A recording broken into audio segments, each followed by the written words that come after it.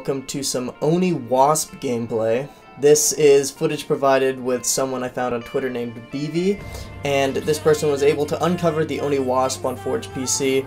This vehicle, in my opinion, is a lot more exciting than the Hannibal Wasp because it shoots explosive rounds and a much faster travel time rocket. Um, so it's basically an upgraded version of the regular Wasp and it also looks a lot nicer. I like the matte black to it, but that's just an opinion, of course.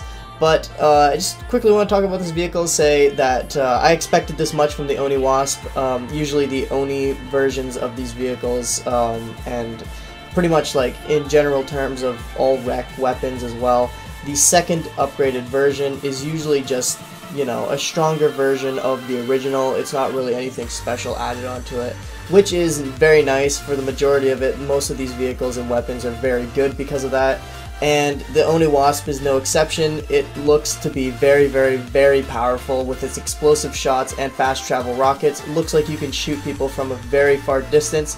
I'm very excited to see both of these vehicles in the game. And also by the looks of this video, it looks like the mobility has been increased as well. So that is pretty cool for the Oni Wasp. I don't know much about the shields as the video did not really show much about it, but maybe it could be upgraded as well. If that is, then this vehicle is definitely going to be one of the more powerful vehicles in the game. A low REQ, 4 to 5 REQ vehicle that can fly and do explosive rounds and rockets that travel extremely fast. I'm sure it's going to be a very devastating vehicle in the game um, if not the Hannibal Wasp. So with that being said, hope you